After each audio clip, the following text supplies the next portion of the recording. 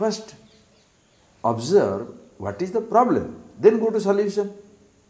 This is a universal thing. When you go to a doctor, he keeps you under observation. Suppose your headache, will you operate on your toe? If you have got your heart problem, shall he remove your gallbladder? That means he is not a doctor. He keeps you under observation which part is problem. Like a person goes for a, your tire has leaked, it has a leakage.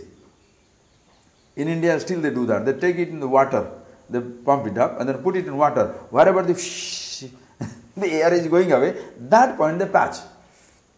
Now think for your life. What is your point where everything is leaking out?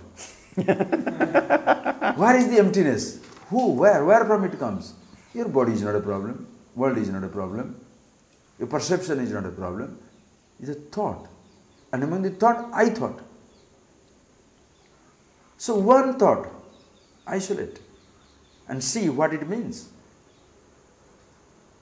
And when you are doing it, what happens? When you are trying to do it, yes, that is the time other thoughts will keep coming up. Because when you are trying to see yourself, other thoughts may keep coming up. That is where different practices are told. How to keep your mind slow down, how to slow down your mind. Like learning driving. When you learn driving, you don't learn driving in 100 kilometer speed.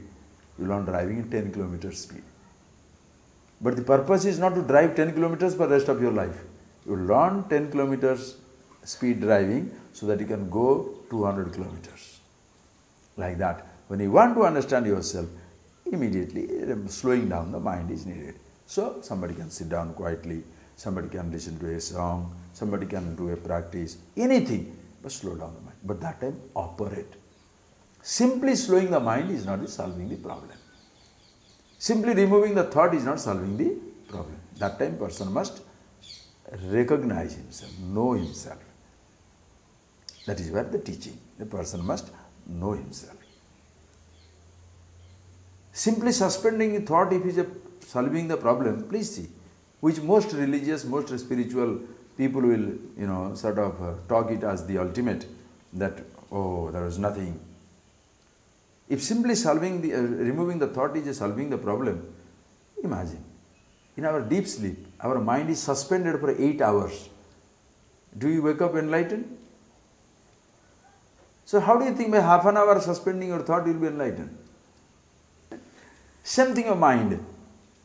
Please know. You have a mind, you have all the thoughts. Yes, you know your thoughts better than anybody. But how to think, you don't know.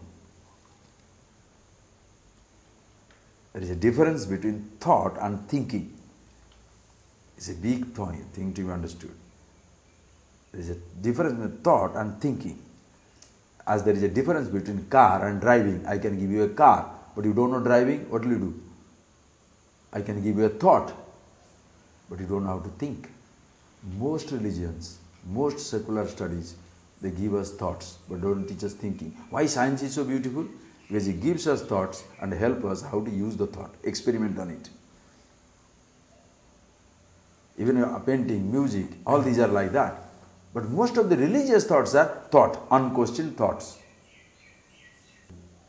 When the thoughts are given, and one such thought is, no thought should be there. You try to fulfill that promise. What a headache.